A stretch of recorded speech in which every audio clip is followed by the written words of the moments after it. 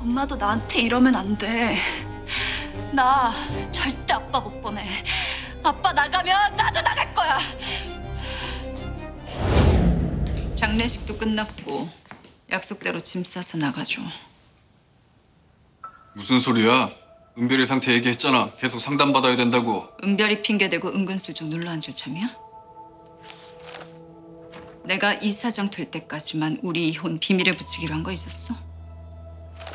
이제 숨길 이유도 없을 것 같은데. 은별이가 아파. 당신 기대 때문에 우리 딸 속이 골마 썩어 문드러지고 있다고. 우리 은별이 당신같이 나약한 사람 아니야. 은별이 멘탈 케어는 나도 할 수 있어. 위자료로 70억까지 챙겼으면 깨끗하게 나가는 게 마지막 예의 아니야? 엄마 아빠 이혼했어? 은별아.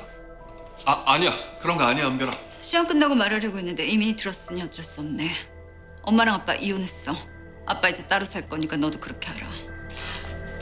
싫어. 절대 안 돼. 나도 베로나처럼 아빠 없는 애로 살라고? 애들이 수군될 거 아니야. 그냥 가짜로라도 같이 살아. 이혼하지 말라고. 엄마, 엄마가 아빠 한 번만 봐주면 안 돼? 아빠는 요즘 우리한테 잘하잖아. 이미 다 끝났어. 한 집에 안 사는 것뿐이고 네가 원할 땐 언제든 볼 수 있어. 그래도 싫어. 아빠, 가지 마. 나랑 같이 살아. 아무 데도 가지 마. 걱정하지 마, 은별아. 아빠 어디 안 가. 은별이 옆에 있을 거야. 응? 넌 이제 청와재단 이사장 딸이야. 천서진의 딸이라고. 베로나 따위랑 비교가 안 돼.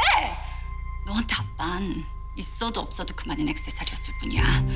넌 엄마만 있으면 돼. 너한테 모든 걸 해줄 수 있는 엄마가 있잖아. 나한텐 아빠도 필요해. 나 그깟 기집애한테 아빠 뺏기기 싫다고. 뭐? 내가 모를 줄 알아? 나 버리고 로나한테 가려는 거지? 더러워. 그런 거 아니야, 은별아. 어린애처럼 굴지 마, 하은별. 네가 이런다고 되돌릴 수 있는 건 아무것도 없어. 어서 들어가서 공부해. 쓸데없는 일로 벌써 몇 분 까먹었어.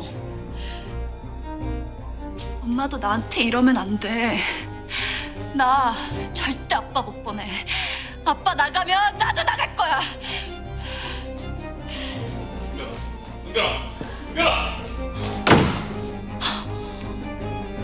하은별. 너 진짜 이렇게까지 해야겠어?